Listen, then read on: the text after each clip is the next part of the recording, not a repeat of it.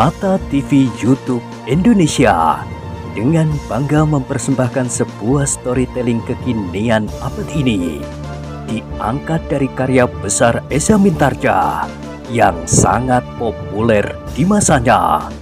Berlatar belakang kisah tanah Jawa masa lampau tepatnya di penghujung kejayaan kerajaan tanah Jawa dengan judul Kisah Api di Bukit Menoreh.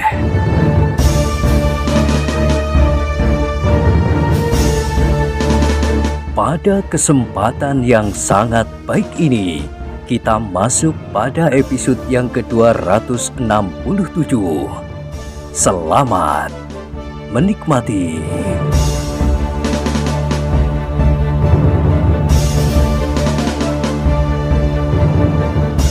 Pada episode sebelumnya telah diceritakan, sekali lagi Ki Gede menoreh menarik nafas dalam-dalam. Sekilas dikenangkannya masa-masa mudanya. Dengan penuh dendam ia berperang tanding di bawah pucang itu. Tetapi ia masih muda. Kini ia menjadi semakin tua, seperti sepasang batang pucang itu pula. Ki Gede itu berpaling ketika ia mendengar Kerti berkata, Marilah Ki Gede, kita berusaha untuk menemukan pasukan menoreh di mana pun mereka berada. Kita akan melihat apakah mereka masih berada di Padukuhan Induk ataukah tidak. Dan kita akan mencari di mana mereka mengundurkan diri seandainya mereka terpaksa terdesak. Tanda-tanda yang aku dengar agaknya tidak menyenangkan. Kerti menganggukkan kepalanya. Ia pun sadar akan hal itu. Tetapi ia berkata, Kita masih harus meyakinkan Ki Gede. Mungkin pasukan menoreh terdesak. Tetapi kemungkinan untuk menemukan keseimbangannya kembali dapat saja terjadi. Ki Argo Pati mengangguk. Tetapi ia pun berkata, Aku sudah lemah sekali. Kalau darah ini tidak segera dapat dihentikan, maka aku akan kehabisan. Kau tahu akibat dari seseorang yang kehabisan darah. Iya, Ki Gede. Tetapi kita juga tidak dapat tinggal di sini terus-menerus tanpa berbuat sesuatu. Terserah kepadamu, Kerti. Kerti mengerutkan keningnya. Dipandanginya kedua kawannya berganti-ganti. Ia menyadari bahwa membawa Ki Gede itu sama sekali bukan tugas yang ringan. Sepanjang jalan, mungkin akan ditemuinya orang-orang Sidanti atau bahkan Ki Tambak Wedi. Apalagi mereka bertemu dengan Ki Tambak Wedi. Sedang Ki Gede berada dalam keadaan yang demikian, maka yang akan terjadi sudah dapat dibayangkannya. Tetapi kita harus berusaha. Namun kata-kata itu tidak terucap. Kedua kawannya agaknya dapat mengerti perasaan yang berada di dalam dada Kerti. Salah seorang dari mereka berkata, Marilah, kita harus segera secepatnya Serentak mereka bergeser maju. Mereka akan mengangkat Ki Gede dan membawanya mencari pasukan menoreh. Tetapi salah seorang dari mereka bertiga harus bebas, sehingga apabila datang bahaya setiap saat, maka seorang yang bebas itu akan dapat berbuat lebih dahulu untuk melindungi kawan-kawannya yang lain, dan terutama Ki Gede yang sedang terluka itu biarlah kami berdua yang mengangkatnya. Berkata salah seorang dari mereka kepada Kerti. Kau berjalan di depan, kau harus berusaha melindungi kami. Kerti mengangguk. Baiklah, jawabnya. Tetapi sebelum mereka menyentuh Ki Gede Menoreh yang menjadi semakin lemah itu, tiba-tiba seperti disengat lebah, mereka serentak meloncat berdiri. Senjata-senjata mereka segera siap di tangan untuk menghadapi setiap kemungkinan.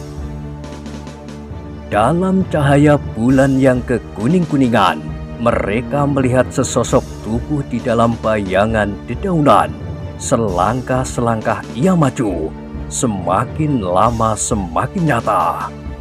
Kerti dan kedua kawannya menjadi berdebar-debar. Tiba-tiba saja mereka merenggang. Setapak Kerti melangkah maju. Dari mulutnya terdengar pertanyaan. Siapa kau? Orang yang baru datang itu tertegun, tetapi tidak segera terdengar jawaban dari mulutnya. Wajah Kerti dan kedua kawan-kawannya menjadi semakin tegang. Mereka berdiri tegak membelakangi Ki Arkopati yang menjadi semakin lemah dan berbaring di atas rerumputan.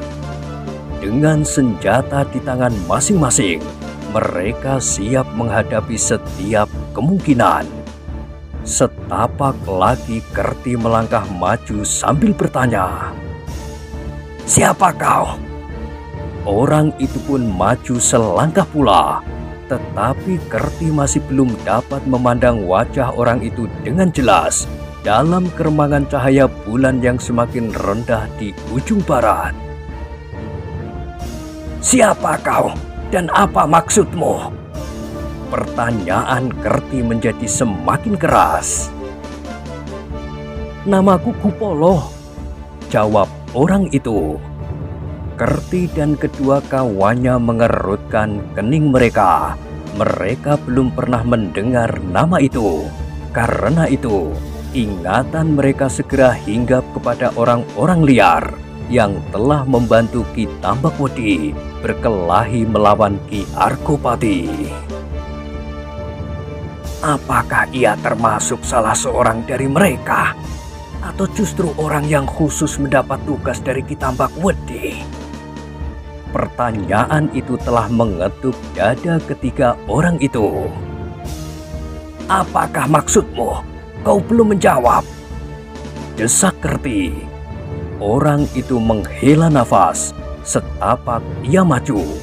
Kerti dan kawan-kawannya menjadi semakin bersiaga.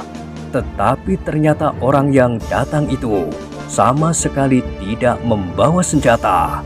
Seandainya ia kehilangan pedangnya pula, maka pasti masih membawa warangkanya di lambungnya.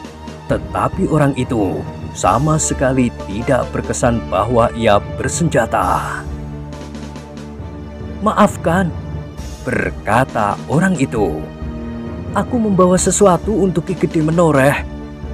Dada Kerti dan kedua kawannya berdesir. Bahkan jawaban yang didengar pula oleh Ki Gede Menoreh yang terluka telah sangat menarik perhatiannya. Apakah yang kau bawa? Bertanya Kerti. Obat, obat untuk mengobati lukanya. Jawaban itu telah membuat mereka yang mendengarnya terkejut. Orang itu sama sekali belum dikenalnya dalam keadaan itu tiba-tiba ia datang menawarkan obat untuk menyembuhkan luka-luka di dada Ki Arkupati. Itulah sebabnya maka kecurigaan Kerti menjadi semakin meningkat. Tiba-tiba saja ia tidak mau memperpanjang waktu lagi karena ia tahu bahwa luka Ki Gede benar-benar harus segera mendapat perawatan. Maka katanya, Sebutkan orang yang menyuruhmu datang dengan membawa racun itu. Jangan kau sangka bahwa kami terlampau bodoh untuk menyerahkan nyawa kami kepada orang-orang yang tidak kami kenal. Oh, jawab orang itu. Sama sekali bukan, bukan racun, tetapi aku membawa obat dari ayahku. Ayahku tahu benar bahwa Ki Gede sedang terluka Itulah sebabnya aku harus datang untuk menyerahkan obat itu kemari. Siapakah ayahmu? Bertanya Kerti. Kiai Garit. Sekali lagi Kerti dan kawan-kawannya mengerutkan keningnya. Nama itu pun sama sekali belum pernah mereka dengar. Sehingga karena itu, maka Kerti berkata, Jangan terlampau banyak bicara. Waktuku terlampau sedikit. Sekarang aku terpaksa membawanya untuk sementara. Kalau ternyata kau benar-benar tidak bersalah, aku akan melepaskanmu. Apakah maksudmu? Bertanya orang itu. Kau terlampau mencurigakan. Karena itu, kau harus ikut kami. Jangan melawan, supaya kami tidak berbuat terlampau kasar. Kerti pun kemudian berpaling kepada kawan-kawannya. Marilah, kita bawa Ki Gede ke induk pasukan. Biarlah orang ini aku bawa pula bersama kita. Tunggu, potong orang itu. Apa pun yang akan kalian lakukan atasku, terserahlah. Tetapi aku minta obat ini dapat kalian taburkan di atas luka itu, supaya Ki Gede tidak kehabisan darah. Omong kosong, kau akan membunuh dengan cara yang sangat licik. Jangan salah mengerti, aku tidak mempunyai kepentingan apa pun untuk membunuhnya. Jangan banyak bicara, ayo berjalanlah di depan. Orang itu hampir tidak mendapat kesempatan untuk menjawab karena Kerti melangkah semakin dekat sambil mengacungkan senjatanya. Namun tiba-tiba langkahnya tertegun ketika ia mendengar Ki Gede memanggilnya perlahan-lahan bawalah orang itu kemari. Kerti ragu-ragu sejenak, tetapi kemudian katanya, Baiklah Ki Gede. Lalu kepada orang yang menyebut dirinya bernama Kupolo itu ia berkata, Mendekatlah, tetapi jangan membuat aku kehilangan kesabaran dan menghunjamkan pedang ini di punggungmu. Perlahan-lahan Kupolo maju mendekati Ki Gede yang sedang terbaring. Beberapa langkah daripadanya, Kerti berdesis. Berdirilah di sini.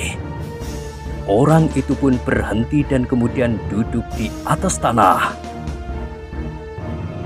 Kami belum pernah mengenalmu di sana. Berkata Ki Arko Patilire. Apakah kau dapat membuktikan bahwa kau benar-benar bermaksud baik.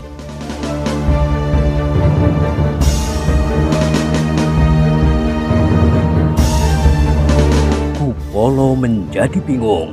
Jawabnya berterus terang. Tidak, Ki Gede.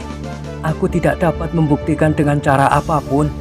Kecuali apabila Ki Gede bersedia mencoba menaburkan obat ini. Akan tampak kemudian dengan cepat bahwa darah itu akan segera berhenti dan membeku. Potong Kerti dengan tegangnya ia berkata, Jangan main-main dengan cara yang licik. Kemudian kepada Ki Gede ia berkata, Marilah Ki Gede, kita segera berjalan. Kita akan kehabisan waktu. Mungkin mereka memperpanjang waktu termasuk cara yang mereka perhitungkan pula. Karena itu, jangan hiraukan lagi orang ini. Ki Gede menoreh tidak segera menjawab. Dicoba untuk memperhatikan wajah orang itu.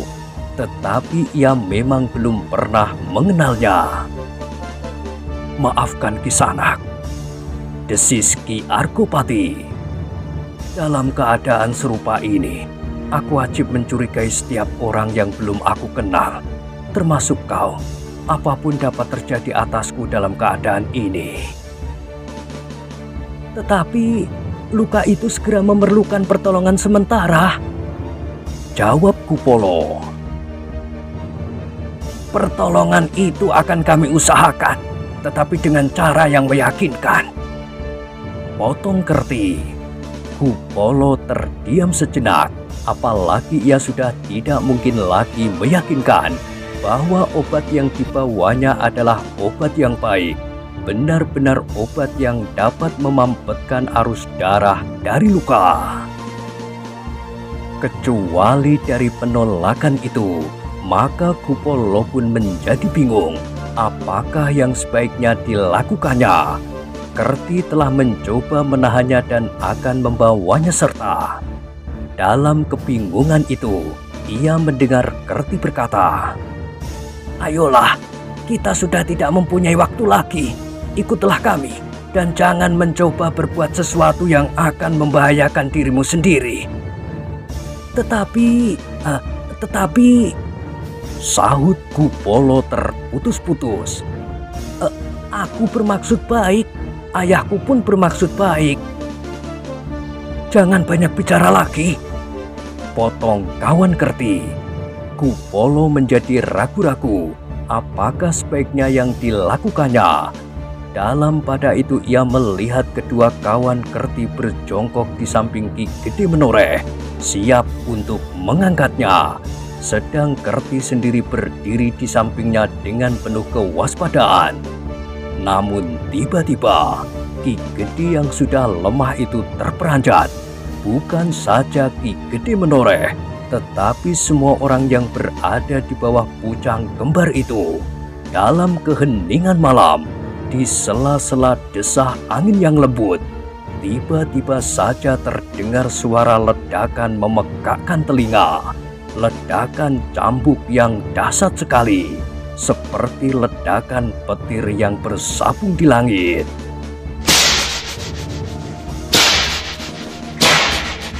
Sejenak orang-orang yang berada di bawah pucang kembar itu terbungkam. Tidak seorang pun yang tahu apakah yang sedang mereka hadapi. Namun perlahan-lahan, Ki Gede menoreh menarik nafas dalam-dalam. Kepalanya yang lemah, perlahan-lahan terangguk kecil. Ketika sekali lagi terdengar ledakan cambuk yang dasar itu, maka seakan-akan Ki Gede menemukan suatu keyakinan tentang sesuatu. Perlahan-lahan terdengar ia bergumam. Hei, di sana, apakah kau kenal siapakah yang meledakkan cambuknya seperti ledakan petir di udara itu? Kupolo ragu sejenak, namun akhirnya ia menjawab. Iya Ki Gede, Aku mengenalnya. Ia adalah ayahku yang aku katakan menyuruhku menyerahkan obat ini kepada Ki Gede. Ki Gede mengangguk-anggukkan kepalanya, kemudian katanya, Apakah benar kau anaknya? Iya Ki Gede. Dalam keremangan cahaya bulan, tampak wajah Ki Gede menoreh yang pucat itu tersenyum ditatapnya wajah Kupolo yang bulat, tubuhnya yang gemuk dan kaki-kakinya yang kokoh. Apakah kau satu-satunya anak orang yang meledakkan cambuk itu? Sekali lagi Kupolo menjadi ragu-ragu, namun kemudian ia menjawab sambil menggeleng. Tidak Ki Gede, aku adalah anaknya yang muda. Berapa anaknya? Dua, Ki Gede menoreh diam sejenak. Terasa lukanya menjadi semakin pedih dan tubuhnya menjadi semakin lemah. Ini ia pun menjadi ragu-ragu. Suara cambuk itu suatu isyarat yang pernah dikenalnya beberapa puluh tahun yang lampau ketika ia masih menjadi seorang prajurit. Setelah mereka berpisah, maka jarang-jarang sekali mereka saling bertemu dan bahkan hampir tidak pernah sama sekali. Kabar tentang kawannya, manusia bercampuk itu pun semakin lama semakin tidak pernah didengarnya lagi. Kini tiba-tiba ia mendengar ledakan serupa, ledakan cambuk itu ketika ia sedang dalam keadaan yang sulit. Kerti dan kedua kawannya pun seolah-olah membeku pula. Dilihatnya wajah Ki Gede yang pucat itu membayangkan sebuah yang menjadi rahasia.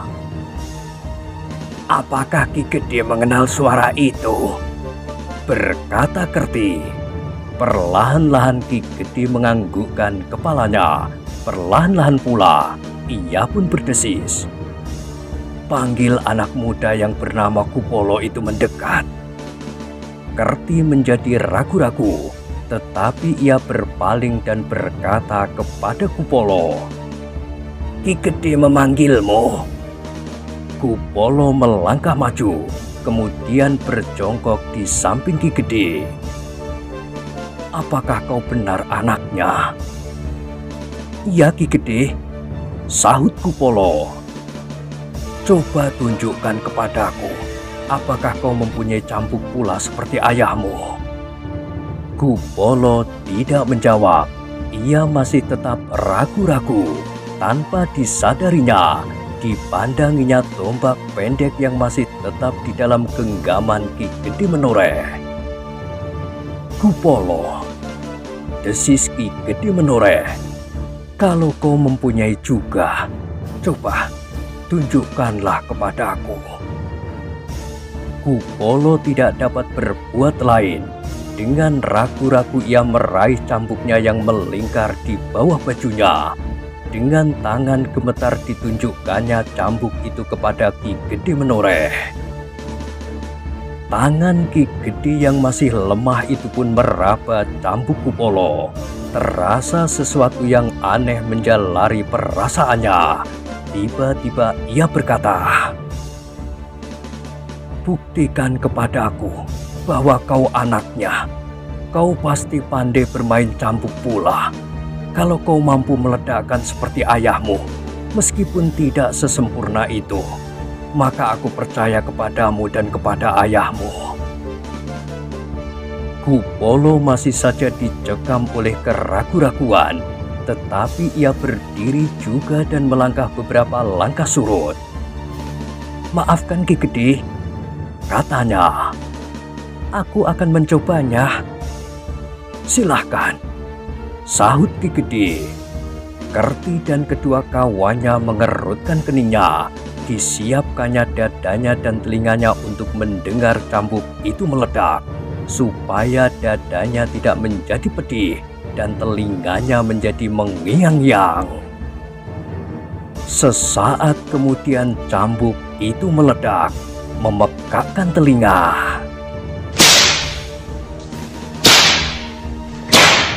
Meskipun tidak sekeras suara cambuk yang lebih dahulu, namun demikian Kerti dan kedua kawannya terpaksa menggeleng-gelengkan kepalanya karena serasa sesuatu kemudian menyumbat telinganya. Ki Pati mengangguk-anggukkan kepalanya sambil tersenyum. Kemudian ia berkata lirih. Kini aku percaya kepadamu. Berikan obat itu kepada Kerti. Biarlah ia menaburkannya di atas lukaku. Ki Gede berhenti sejenak. Lalu katanya, tetapi kenapa ayahmu itu tidak datang sendiri kemari mengantarkan obat ini? Aku tidak akan mempersoalkan lagi. Apalagi ia sendiri sudi datang kepadaku dalam saat-saat yang seperti ini. Aku tidak perlu bercuriga dan bertanya-tanya. Sejenak Kupolo terdiam. Namun sejenak kemudian ia mengambil obat dari kantung bajunya, menyerahkannya kepada Kerti sambil menjawab, inilah obat itu. Menurut ayah, obat itu harus ditaburkan di sekeliling luka dan pada luka itu sendiri. Kerti menerima obat itu sambil mengangguk-anggukkan kepalanya. Kemudian ia bergeser maju mendekati Ki Arkupati. Sementara itu, Upolo berkata, Menurut pesan ayah, ayah belum dapat menemui Ki Gede sekarang ada sesuatu yang mencegahnya. Karena itu ayah menyuruhku menyerahkannya kepada Ki Gede. Ki Arko Pati menarik nafas dalam-dalam. Gumamnya. Aku tidak tahu apa yang telah menghalang-halangi ayahmu menemui aku. Aku tidak pernah merasa mempunyai persoalan apa pun. Tetapi baiklah, sampaikan kepadanya bahwa aku sangat berterima kasih atas pemberian ini. Aku berharap bahwa pada suatu saat kita akan dapat bertemu. Kupolo mengangguk-anggukkan kepalanya. Katanya, aku akan menyampaikannya kepada ayah. Sementara itu, Kerti telah menabur-naburkan obat yang terbungkus dengan daun kelaras. Perlahan-lahan, merata di atas guratan luka yang panjang. Sejenak kemudian, terasa arus yang dingin menjalari pembuluh-pembuluh darah Ki Arkupati. perasaan pedih yang menyengat-nyengat menjadi berangsur berkurang meskipun tidak lenyap sama sekali. Namun yang memberinya harapan adalah kemampuan obat itu untuk memampetkan lukanya sehingga hampir tidak percaya kepada penglihatannya. Kerti berkata, Apakah benar bahwa darah itu tiba-tiba saja berhenti mengalir? Ki Arko Pati menarik nafas dalam-dalam. Meskipun tubuhnya terasa terlampau lemah, namun ia tersenyum. Sampaikan kepada ayahmu itu, Kubolo. Aku benar-benar berterima kasih kepadanya. Aku ingin segera bertemu dan meyakini bahwa ia berputrakan seorang anak muda segemuk kau ini. Terasa dada Kupolo berdesir tetapi ia tidak menyahut. Aku sekarang merasa bahwa seolah-olah aku tetap hidup lagi setelah aku meninjau ke daerah maut. Sebenarnya aku sama sekali sudah tidak berpengharapan karena darahku sudah tidak dapat dibendung lagi oleh obat yang dibawa oleh Kerti. Tetapi obat ayahmu benar-benar obat yang telah menumbuhkan harapanku kembali. Mudah-mudahan Ki Gede, sahut Kupolo. Mudah-mudahan obat itu dapat menyembuhkan luka Ki Gede. Tetapi sampaikan kepada ayahmu Kupolo bahwa pada saatnya aku ingin bertemu. Terserah kepadanya kapan ia bersedia. Kalau aku yang harus datang kepadanya, aku pasti akan datang. Tetapi kalau ia bersedia datang kepadaku, akan aku terima dengan segala senang hati. Ya Ki Gede, aku akan menyampaikannya. Jawab Kupolo. Kemudian katanya, Kini perkenankanlah aku kembali kepada ayah. Ki Argo Pati menganggukkan kepalanya. Baiklah, sekali lagi aku mengucapkan terima kasih. Kupolo pun segera minta diri Kemudian dengan langkah yang tetap, ditinggalkannya Ki Gede Menoreh yang terbaring dilingkari oleh Kerti dan kedua kawannya. Namun beberapa langkah kemudian ia tertegun. Ia tidak dapat menahan dirinya yang dijalari oleh sifat-sifat yang aneh. Karena itu, maka tiba-tiba ia berpaling. Dipandanginya wajah Kerti yang samar-samar di dalam cahaya bulan yang bulat Kemudian tiba-tiba ia bertanya, Kiai, Kiai Kerti, bukankah nama Kiai demikian? Nah, apakah Kiai masih ingin membawa aku beserta dengan kalian? Kerti mengerutkan keningnya, tetapi ia tidak menjawab. Yang terdengar sekedar desis dari sela-sela bibirnya. Karena Kerti tidak menjawab, maka Kupolo pun kemudian melangkahkan kakinya pula sambil berkata, Terima kasih kalau Kiai tidak membutuhkan aku lagi. Yang terdengar kemudian adalah suara tertawa tertahan. Kerti mengatupkan bibirnya rapat-rapat, namun ia mendengar Ki Argopati tertawa lirih. Anak itu suka bergurau. Kerti mengangguk-anggukkan kepalanya. Dengan ragu-ragu ia bertanya, Siapakah sebenarnya mereka itu Ki Gede? Aku pernah mengenalnya, seorang yang baik hati. Tetapi sudah agak lama aku kehilangan hubungan. Kini tiba-tiba ia datang ketika aku sedang di dalam bahaya. Orang itu memang seorang ahli obat-obatan yang baik Apakah Ki Gede ingat siapakah namanya? Nama tidak penting baginya. Ia adalah seorang yang bersembunyi di belakang seribu satu macam nama. Tetapi ia mempunyai kedirian yang tidak berubah seperti perubahan namanya itu. Ki Arko Pati menarik nafas dalam-dalam. Desisnya, Itulah yang sukar untuk dikatakan. Tetapi menurut hematku, ia bukan seorang yang tidak berarti. Orang yang hidupnya ditabiri oleh seribu macam rahasia. Tepat. Apa kau sangka bahwa anak yang bernama Kupolo itu pun tidak berlatih merahasiakan dirinya? Aku tidak yakin bahwa ia anak orang bercambuk itu. Entahlah, aku tidak tahu kenapa aku berprasangka demikian. Sejenak Ki Gede itu berhenti, lalu katanya, tetapi sebaiknya kita tidak usah menjadi pening karenanya. Kerti menganggukkan kepalanya, tetapi ia tidak menjawab. Dengan demikian maka sejenak suasana dicekam oleh kesenyapan. Yang terdengar hanyalah desir angin pada daun pucang yang bergerak-gerak. Seperti sedang melambai kepada bulan yang semakin rendah di ujung barat. Tiba-tiba kesenyapan itu dipecahkan oleh gonggong anjing-anjing liar di kejauhan. Ki Gede yang masih lemah itu pun berkata, Apakah kalian akan berada di sini semalam suntuk? Oh, Kerti seolah-olah baru tersadar dari lamunannya. Terbata-bata ia menjawab, eh, Tidak Ki Gede, marilah, marilah kita berangkat ke induk pasukan. Kedua kawan Kerti pun kemudian memapaki Gede.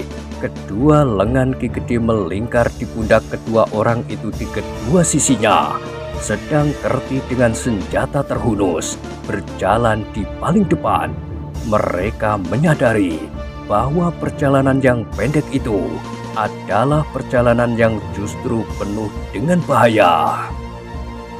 Sejenak mereka berjalan tertatih-tatih di atas tanah berbatu cadas, kemudian meloncati tebing-tebing kecil, menyusup gerumbul-gerumbul liar, meninggalkan sepasang batang pucang yang masih tegak menjulang tinggi, seolah-olah ingin meraih bulan yang bulat di langit dengan daun-daunnya yang bergerak-gerak seperti jari jemari yang panjang.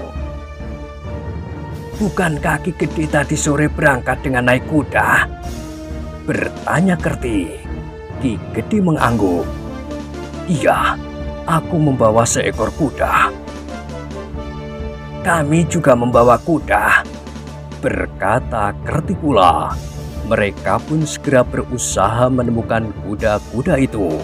Dengan hati-hati Ki Gede dipapah, didudukkannya di atas kudanya. Aku akan duduk di belakang Ki Gede. Berkata Kerti. Ki Gede tidak menjawab, tetapi ia mengangguk pula. Dipercayakannya saja dirinya yang terluka itu kepada pengawal-pengawalnya. Kerti pun kemudian duduk di belakang Ki Gede menoreh, sedang kudanya diserahkannya kepada kawannya. Diikatkannya kendali kuda itu pada pelana kudanya sendiri dan dengan demikian maka kuda itu akan selalu mengikutinya.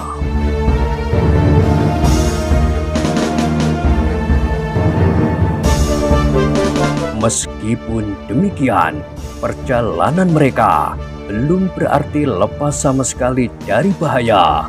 Di sepanjang perjalanan, mereka akan dapat bertemu dengan sepasukan lawan, sepasukan yang besar, atau segerombol peronda yang nganglang dari pihak Sidanti. Dengan demikian maka mereka pun tetap berhati-hati. Setiap saat mereka harus bersiap menghadapi segala macam kemungkinan yang datang dengan tiba-tiba, apalagi pada saat itu Ki Pati sedang dalam keadaan terluka cukup parah, sehingga tidak mungkin baginya untuk berbuat sesuatu apabila mereka bertemu dengan lawan. Demikianlah, maka dalam silirnya angin malam, kuda-kuda itu berjalan tidak terlampau cepat, menyusur jalan sempit di hutan-hutan perdu yang jarang kita harus berusaha mencari jalan yang paling aman. Berkata Kerti, kalau benar padukuan induk sudah tidak dapat dianggap aman, maka kita harus menuju ke patisan yang lain. Ki Arkopati mengangguk perlahan. Terdengar suaranya dalam. Aku sudah menasihatkan, kalau terpaksa mereka tidak dapat menahan diri dari arus kekuatan Sidanti, maka aku minta para keluarga mereka disingkirkan ke Patemon. Sehingga seandainya pasukan menoreh benar-benar terdesak, aku kira mereka pun akan menyingkir ke Patisan itu pula. Baiklah, aku akan melihat Patisan itu lebih dahulu. Berkata salah seorang kawan Kerti. Jangan sekarang, nanti setelah kita mendekati Patisan itu, di perjalanan setiap tenaga kami sangat diperlukan. Pengawal itu mengangguk-anggukkan kepalanya. Ia menyadari bahwa memang seharusnya ia tidak meninggalkan rombongan kecil yang parah itu. Namun belum lagi mereka terlampau jauh dari pucang kembar, mereka mendengar derap kaki kuda dari arah depan. Semakin lama semakin dekat, sehingga Kerti menarik kegang kudanya sambil berdesis. Apakah kalian mendengar pula? Derap kaki-kaki kuda. Iya, derap itu menuju ke arah ini. Wajah Kerti dan kawan-kawannya segera menjadi tegang. Sejenak mereka saling berpandangan, namun mereka tidak segera berbuat sesuatu. Kita menyingkir dahulu. Terdengar suara Ki Arkopati lambat. Kita bersembunyi di belakang semak-semak. Oh, seolah-olah Kerti baru sadar dari angan-angannya.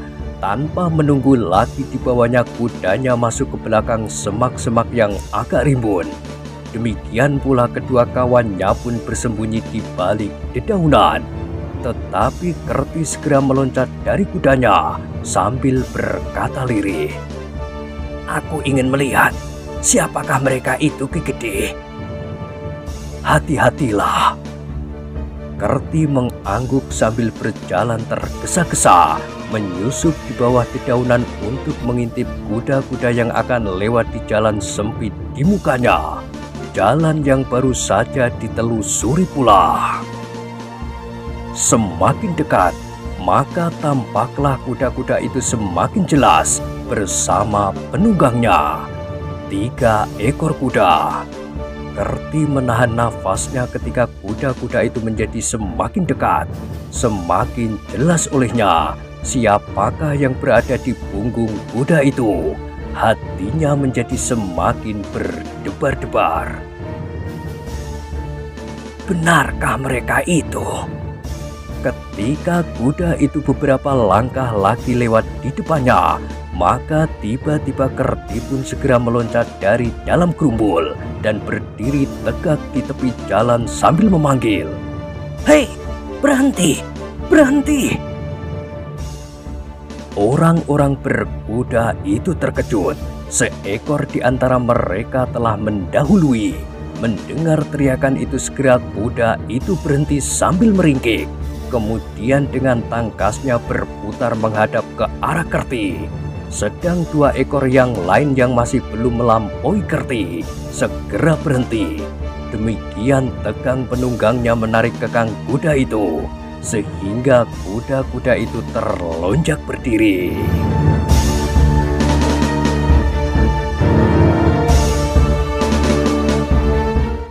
Nah, bagaimanakah kisah selanjutnya?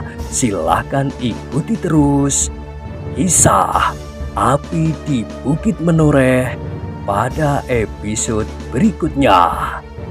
Sampai jumpa.